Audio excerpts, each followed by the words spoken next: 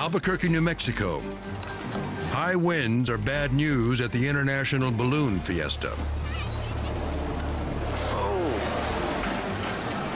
Wind's starting to pick up, huh? A spectator fears problems as he aims his camera to the sky. Wind's too doggone hard. But he can't imagine what's about to happen. There's Smokey out there. Oh, oh, he hit, he hit the tower. He's on the tower. Oh, he tore a hole in him.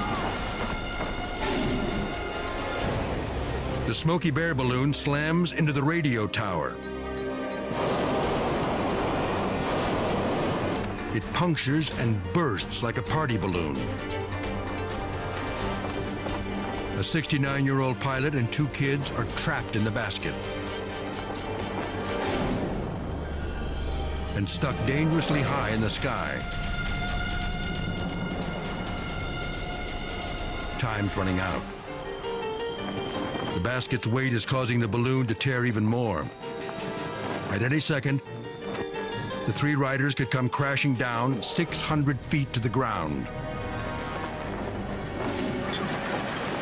Oh, oh, I hope that thing don't rip or let the basket fall. But look closely at the tower. There's action that can't be seen from below. That dark figure is 14-year-old Troy Wells.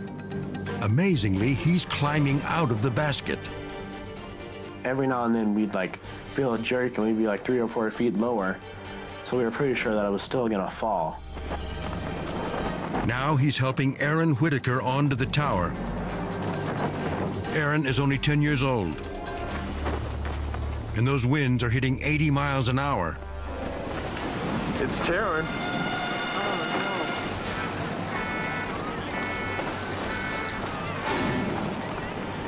No, they're climbing down the tower. They are.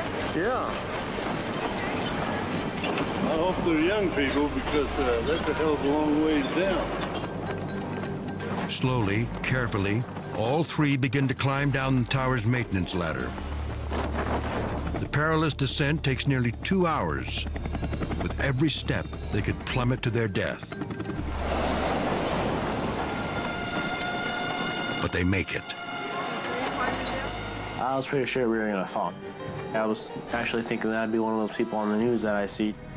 I was also kind of scared that Bill would slip, because if Bill slipped, he would have taken us all down with him. All I wanted to do was live and get the boys down safely. Back on the ground, there's a tearful reunion for the boys and their families. And a reminder that not even Smokey Bear could prevent this disaster.